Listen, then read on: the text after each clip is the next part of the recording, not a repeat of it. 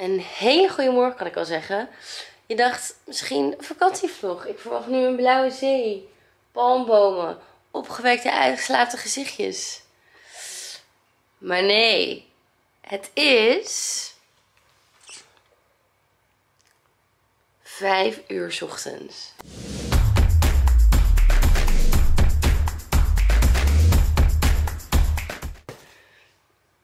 zeg, wat fuck is dit?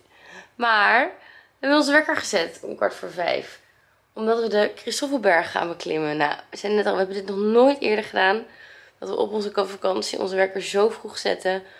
Om iets sportiefs te gaan doen. Maar we hebben besloten om dat te gaan doen. Ook al zijn we er maar een weekje. Ik ben benieuwd. Ik heb er letterlijk vannacht over gedroomd dat ik het niet ging halen. Omdat ik het een slechte conditie had. Dus ik ben benieuwd. Maar ook gewoon opaatjes en zo doen dit, dus je kan het wel. Ja? Ja, dat zei iemand gisteren tegen mij. Iemand anders zei, heb je een vriezer? Leg al het water wat je hebt in de vriezer, want het gaat kapot. Maar we gaan zo vroeg, omdat we dan de zonsopgang kunnen zien. En je mag het ook maar tot 10 uur doen, want het anders daarna gewoon te heet is. Dus ik ben benieuwd. Waar ik me nog een beetje zorgen over maak is, eh, in Nederland was ik al twee weken ziek. Had ik keelontsteking. Toen was ik net weer beter, maar ja, dan ga je natuurlijk met een slechte weerstand hier in het vliegtuig. En dat is natuurlijk een walhalla voor alle virussen en bacteriën zo'n vliegtuig. Dus dat heeft lekker in mijn bijholtes gaan zitten. Dus ik ben weer ziek op vakantie. De inhalatiecapsules, de neuspreetjes, de hoestrankjes, de neusdouches. Alles gekocht weer. Dus we gaan het zien. Dus we gaan. Ik heb de rugtas. We moeten 40 minuutjes rijden. Dus ik ben benieuwd. Wat net? Ik vind het vet lekker als andere mensen niet wakker zijn. Wij wel, ik voel me superhuman. Dan denk ik, fuck jullie allemaal, jullie slapen nog. Ja, het En wij gaan erover. Het voelt voor mij net alsof we een soort stapavond komen en eindelijk richting bed gaan, maar helaas. We gaan een berg beklimmen. Ja, normaal gesproken zouden we rond de tijd misschien wel wakker zijn, maar dan niet nuchter. Nee, precies. Nu zijn we nuchter en wakker. Oh, heftig. Hé, hey, is er niet zo aan joh. Nou, ik vind gewoon... staat ook een keer vroeger. Nou, ik vind kwart voor vijf op een weekje vakantie. Het is niet dat we zeg maar twee weken of drie weken op vakantie zijn. We zijn één week op vakantie. Klopt, En we zijn gisteren om half tien ook nog in het casino. klopt. Dus ik wil best een beetje zeuren. Mag je altijd zeuren. We gaan nog even op zoek naar een tankstation om net even dat extra flesje water te halen. Ze zeggen minimaal 1 liter per persoon. En we hebben 2 liter mee, dus het zou kloppen, maar daar hebben we niks voor nu. Of er nou of iets extra's. Ik hou toch van het extra beetje water. Verder eh, is het regenseizoen officieel voorbij, maar is het regenseizoen zich verlengd op de een of andere manier. Dus we hebben eigenlijk elke dag regen bij wel gehad. Maar wel kort, man. Ja, gisteren was wel lang. Gisteren was wel echt veel hoor. Ja, zo. Dus dat is wel een beetje jammer. En het regent nu dus ook.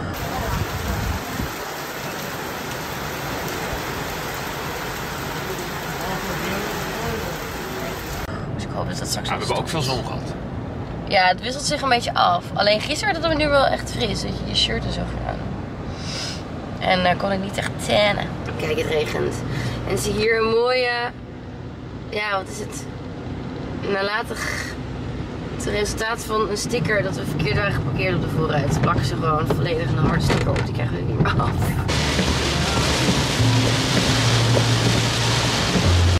Ah, je gelooft dit dus niet. Heb geen bereik hier. Het... Oké, dus we hebben eindelijk besloten in de regen te gaan doen. Dus we moeten met onze auto een berg op. Oké, zet de auto eens aan. Voor de grap.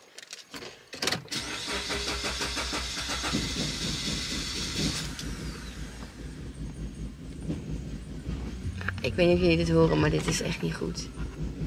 Dit hele ding trilt. Oh mijn god. Maar wij waren dus al halverwege die berg.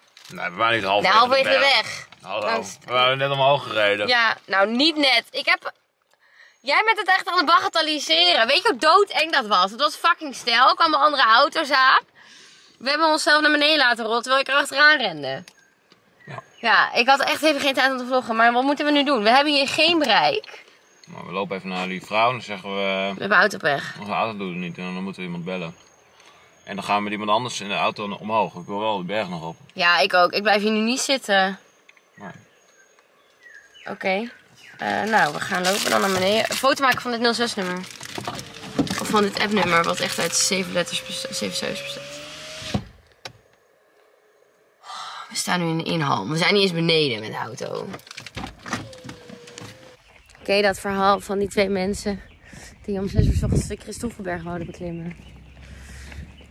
Ja, maar die halverwege met de auto autopech kregen. Dus nu de auto maar halverwege de heuvel staat.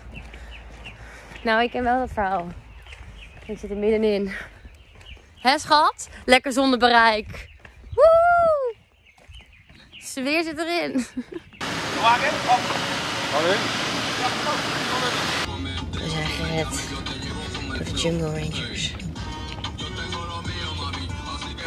Nou, het avontuur begint.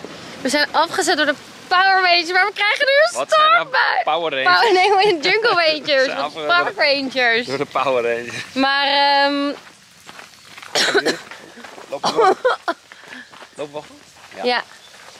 Oké. Gelukkig hebben we een bladerdak boven ons.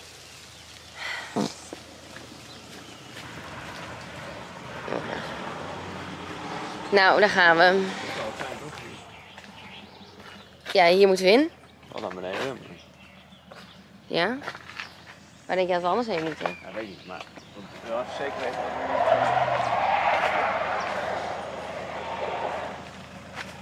Ja joh, het is toch gewoon een pad? Het ding is wel dat de zon al is begonnen met opkomen. Maar ja, we hebben het probleem maar even gelaten voor wat het is. En de auto heeft een, ja hoe heet het nou? Niet een, een Jungle Ranger? Park Ranger. Heeft eh, ja, ons sleutel en die ging het allemaal fixen. En de andere Park Rangers hebben ons naar boven gebracht. Of ja, die hier naarheen gebracht. En nu gaan we een uurtje hiken. Of dat hij hem gewoon neerzet daar. Nee, hij gaat hem gewoon neerzetten. Ja. Hij gaat het niet fixen. Misschien als ze zich vervelen. Maar ja, hoe laat is het? Kwart voor zeven. Oké, nou, ben benieuwd. We gaan ons op de opgang net missen helaas. Maar... Oh, misschien moet ons nog even met muggenspray.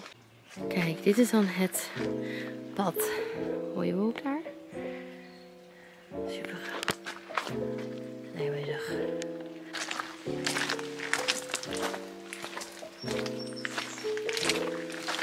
Even sfeerimpressie. We zijn eh, verregend. Maar we zijn op de helft. Ik kan niet zoveel filmen, want ik moet me letterlijk overal vasthouden.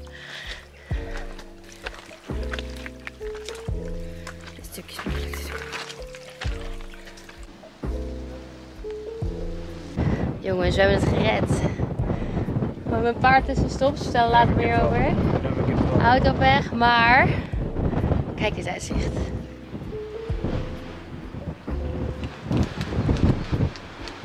Vooral wolken, maar ja.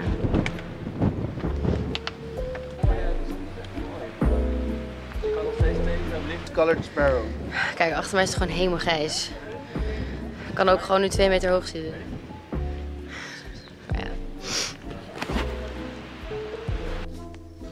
Normaal is zo omhoog, of naar beneden gaan makkelijker naar omhoog gaan, maar dat heeft geregeld is het zo glad. Dit duurt nog wel even. Maar we hebben hier een point bereikt. En het leuke is, als we eindelijk beneden zijn,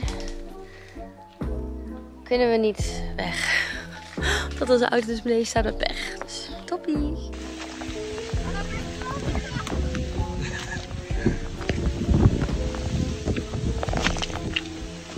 Lekker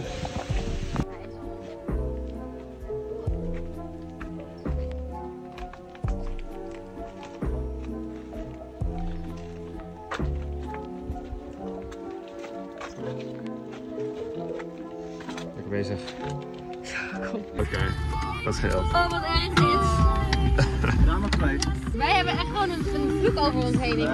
dat was. Ja, dit, dit is geen toeval dit hoor. Ja, je wil gewoon uit. Ja, je kan wel.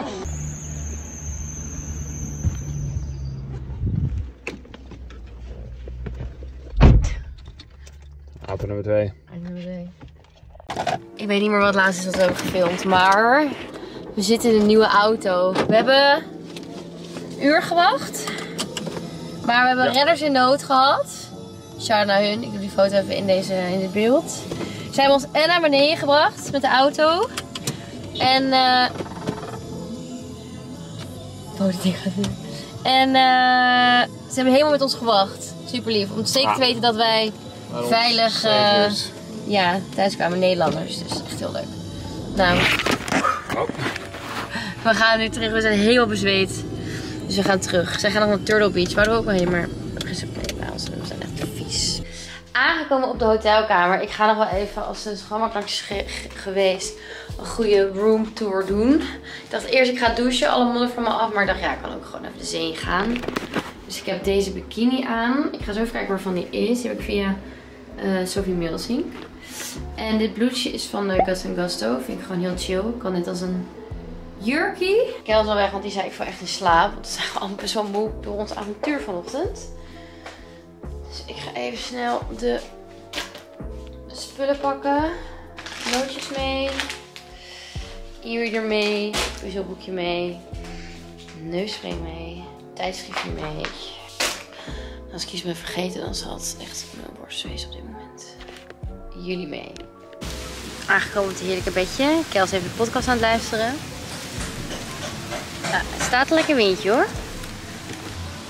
Kijk eens. Infinity Pool. Tijd voor puzzels. Een van de redenen waarom ik ook afgelopen week niet had gevlogd was omdat ik het gewoon een beetje ben verleerd om mijn camera erbij te pakken. Ja, dat kan gebeuren. En een andere reden is ook dat ik de hele tijd ziek ben. Ja. Dat ik er gewoon echt geen zin in heb. Ehm, het ding is zeg maar, ik had voordat ik op vakantie ging, twee weken lang eh keelontsteking. Ik zet je even neer. Eh, twee weken lang had ik keelontsteking. Dat was niet leuk, eh, want voor keelontsteking geven ze ook geen medicijnen meer. Dus het was gewoon puur een spiegel, bouwen, paracetamol, ibuprofen, nou, de hele uit mijn teut. Toen was ik voor de vakantie, of nou ja, ik denk één, twee dagen voor de vakantie, was ik eindelijk weer beter. Super leuk. Toen ging ik weer op vakantie. Ga je natuurlijk vliegtuig in met veel bacteriën, virussen, viezigheid. En ehm, ja, toen begon, begon ik heel verkouden te worden. Als in loopneus, maar vooral weer hoesten. Alleen dit keer niet droge hoest, maar zoveel slijm dat ik gewoon in stikte. Gewoon echt, als je het vies wilt weten, gewoon dikke gele kloorslijm. Echt fucking goor. Dus toen begonnen we al met de hele ehm, rambam. En maar toen was ik blij, ik denk gisteren. Omdat eindelijk het hoesten op was gehouden. Ik kon eindelijk slapen. En nu werd ik vandaag wakker en kreeg ik dus super last van mijn bijholtes. En deze bijholte doet zo pijn. Ik weet niet, als mensen dit een keer hebben gehad, weet je hoe pijn het doet? Ik ben toen ik 13 was geopereerd aan mijn bijholtes. Omdat ik heel veel hoofdpijn had, omdat het altijd helemaal vol zat. Toen bleek mijn bijholtes een vernauwing te hebben, dus toen ben ik geopereerd. Die zijn groter gemaakt. Maar het, dit zit zo vol dat het gewoon helemaal hier gaat trekken naar je eh, tanden en je kaak. Dus mijn eh, wortels van mijn tanden doen echt fucking pijn. Voelt als een soort kiespijn, maar dan zit het ook hier. Als er een gewicht van 10 kilo hier zit en dan als je dit doet, dan gaat alles mee. En het voelt gewoon heel naar. Dus ik moet toegeven, dat vind ik erg jammer dat de vakantie zo is gelopen. Want we zijn maar een weekje op vakantie en ik ga verder ook niet echt op vakantie. We dus volgend jaar gaan trouwen en daar moeten we voor sparen. Dus ja, ik baal er een beetje van. Nu ben ik dus gewoon uiteindelijk 3,5 week, 4 weken achter elkaar gewoon de hele tijd ziek geweest. En morgen vliegen dus. En ik moet toegeven, ik ben daar een beetje bang voor. Omdat bijholtes en vliegen met de druk is een hel. Ik heb dat namelijk een keer gehad. Dat is echt heel kut. Maar ik probeer echt alles.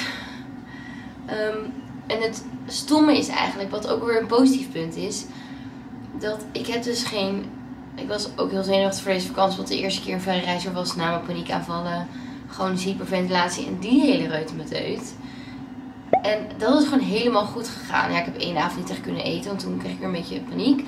Maar verder is het helemaal goed gegaan. Dus dan, ik dacht echt, wow, vet zin. Ik ben helemaal klaar voor. En nu is het helemaal weer kut. Dus ik had daar hoestdrank. Ik had deze spray gekregen. Ik moet toegeven... ehm een normale... Thuis heb ik dus zo'n hoorntje. En dan doe ik er gewoon echt zout in. Maar dat is allemaal niet. Dus ik heb dit. Misschien... Ik zit nu dit te lezen. Misschien moet ik morgen gewoon even mijn neus ophalen in de zee. Dan heb ik nog deze stomer. Ik moet toegeven, het werkt niet echt heel goed. Ik heb een neusspray met zoutoplossing. Eh, nog één. Ik heb ook maxillo met. Dit heb ik elke dag op mijn pyjama gesmeerd. En vandaag heb ik deze Prevent gekregen. Dat moet je dus allemaal ophalen echt bij de apotheek. Dat kan je niet gewoon bij de Albert Heijn halen, zoals in Nederland. En toen zei ze, ik geef je ook wel dit. En dit zijn een of andere allergiepillen. Top. Maar ehm, als ik terug ben, donderdag met mijn nachtvlucht, is die avond de uitreiking van de Gouden Radioring waar de Flamingo voor is genomineerd. En ik heb niet het idee dat ik daarbij kan zijn, wat ik heel erg jammer vind. Ik ga mijn best doen, maar ik heb nu al paracetamol en ibu gehad en het doet gewoon zo pijn. Ehm, dat ik dus ook echt gewoon eigenlijk niet echt mijn camera heb gepakt. Omdat ik loop een beetje met mijn ziel onder mijn arm. Maar we hebben lekker roomservice besteld. En ik ga jullie wel even een tour geven verder door het appartement. We slapen in het Renaissance. Het is niet gesponsord of zo. Maar ik dacht, anders krijg ik daar vragen over. Je komt hier binnen. Het is wel donker. Dit is onze badkamer. Hier zie je dus mijn hele antibiotica. Vind het een leuke badkamermeubel. Hier is de douche. Wc, mijn kleding, nog meer speel van mij, nog meer kleding nog meer kleding van mij, nog meer kleding van mij, kledingkost. Hier Killyboy, wel een mooie bed, tv. Ehm, wij hebben dus, dat ga ik morgen wel even filmen, maar we hebben echt prachtig uitzicht vanaf ons onze kamer. Nu is het donker, maar dit is ons balkonnetje. Hier is de mooie bar van het resort. En hier is dus de zee. Daar liggen de cruiseschepen. Normaal, hé, hey, hij is weer weg. Maar ik ga hem morgen laten zien. Dat is heel mooi. Dat ga ik wel missen.